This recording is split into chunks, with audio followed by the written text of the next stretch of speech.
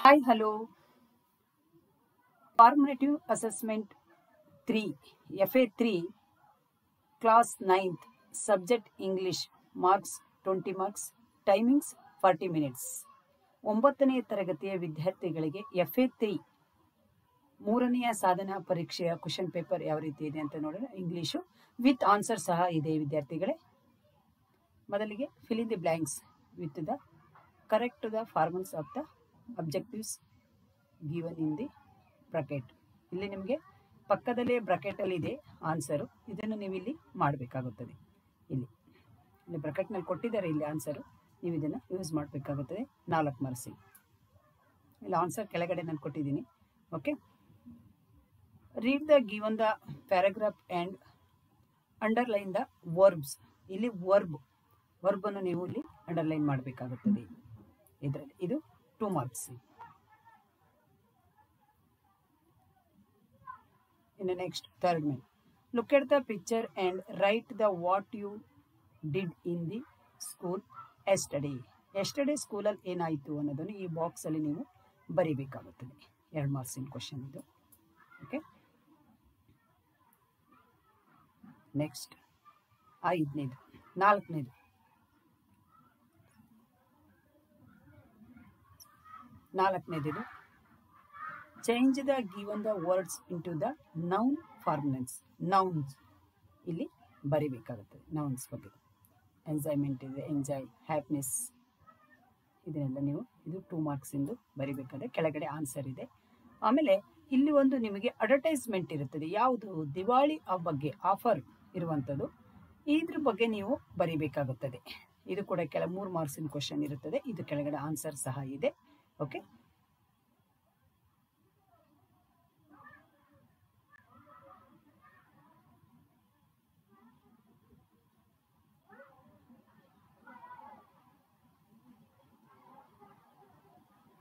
ಇನ್ನು sixth main read the paragraph and answer the questions that the following ಐದು marks ಇದು okay ಇದಕ್ಕೂ answer ಇದೆ ಕೆಳಗಡೆ ಇಲ್ಲಿ.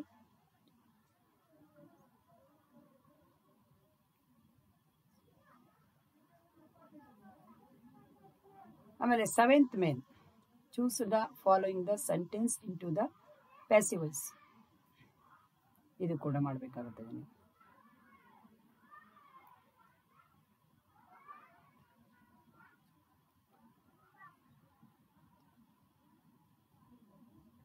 ಇದು ಕ್ವಶನ್ ಪೇಪರ್ ಆಗಿರುತ್ತದೆ, ವಿದ್ಯಾರ್ಥಿಗಳೇ.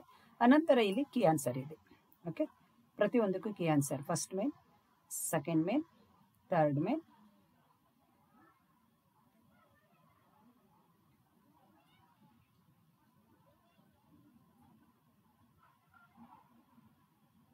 third answer ಎಷ್ಟೇ ಕ್ಲಾಸಲ್ಲಿ ಏನು ನಡೀತು ಅನ್ನೋದ್ರ ಕ್ಲಾಸ್ ರೂಮಲ್ಲಿ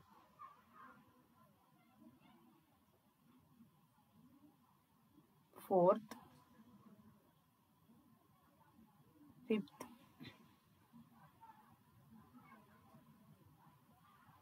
sixth,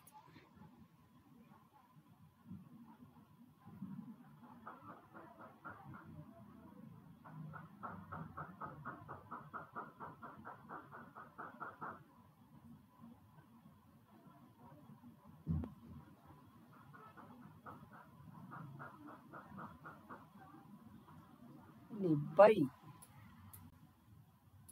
Bye Kiran.